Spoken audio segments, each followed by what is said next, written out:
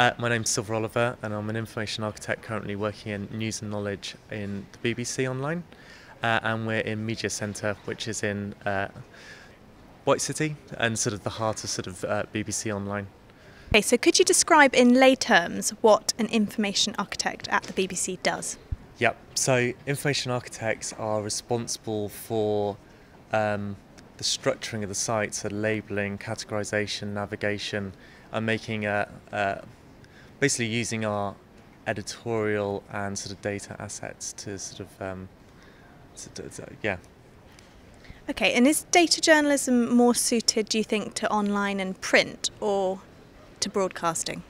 Yeah, so uh, interesting question actually because I guess in terms of investigation, it doesn't really make a difference how you're broadcasting it. So sort of you know, big data journalism projects will um, you know have a uh, broadcast output, you know, potentially a print output, but also an online output. But I think where it gets really interesting is in terms of the communication aspect and the things you can do with data journalism online that you can't necessarily do with broadcast. Um, so, for instance, um, allowing users to um, change the facets of a particular visualization to sort of understand so stories which specifically focus um, are particularly relevant to them that you just can't do uh, with broadcasts where you just have to choose one cut and one story.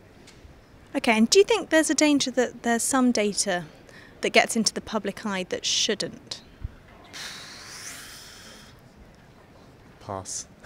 okay. uh, but I think on that actually the the interesting thing is that, and this is more about the web, I guess, in general, is the the web has just uh, allowed unparalleled paralleled access to information and data, and I think. Uh, certainly with documents, we've, we've sort of acknowledged now that things will pass into the public domain, but I think increasingly data will as well. So, um, in, if, if journalists don't pick it up and write stories with that data, sort of the, the public will access it anyway. So there's no longer that luxury of being able to sort of hold stuff back and sort of uh, keep stuff out of the public domain. It will just find its way there. So, uh, um, you know, journalists have to sort of, uh, yeah.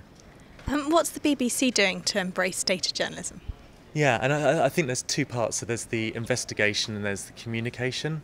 And um, the most important bit with the investigation is getting good people who understand how to do good data journalism and um, you know can work with the data. And we, I mean, we have new technologies and tools, but I don't think that's as important as people who know, um, you know, how to how to find a good story in data.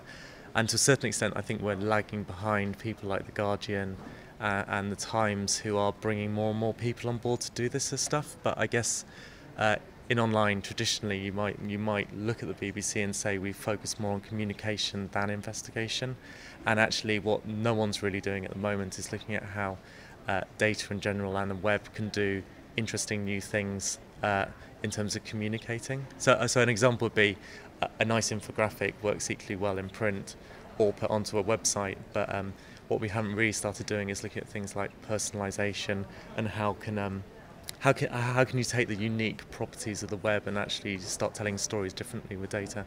I could give some practical examples, but uh, uh, if that would help at all. Yeah. Um, so uh, at the moment, we tend to uh, write stories and put them up on the web, and then sort of hold them together by editorial linking from one story to the to another, and actually that works fine, but it sort of doesn't scale, and that that starts to break as you try and do more and more um, with uh, telling news stories on the web. But actually, um, by using data and abstracting away some of the knowledge away from the sort of manual holding together of stories, it allows you to do a lot more sophisticated things. And I guess a really good example of that is the New Sky news app, where they've um, abstracted away the notion of um, a news event, so you can sort of be watching a particular um, a particular news story on Libya and go behind the story, go into a timeline, find associated assets. And it, I think it's just showing how, by abstracting away some of that knowledge of this event and hanging assets together around an event, you can start to do a lot more sophisticated things.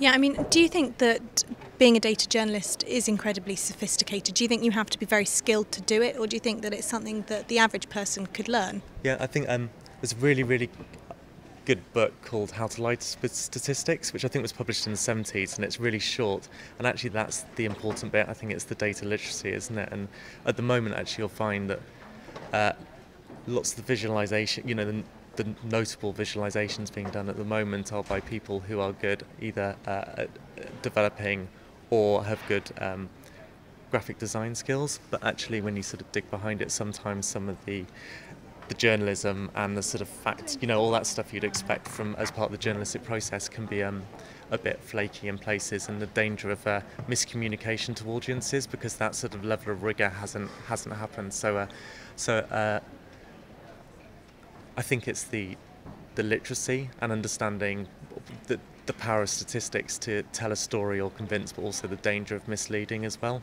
And I and that's also not just about data literacy for the journalists, but also sort of educating the audience to understand how to sort of uh, spot dodgy statistics. You know, when, uh, and I guess this has happened for years with sort of, um, but it becomes a lot more apparent. And I think uh, projects like um, Open Data Brighton and Hove is really interesting, where they're planning to release lots, lots more data, and the idea is that then um, developers can build applications and sort of um, useful, interesting things based on that uh, data being made available, draw out more stories, and, and, data journalists could have data that they can then use to sort of draw stories.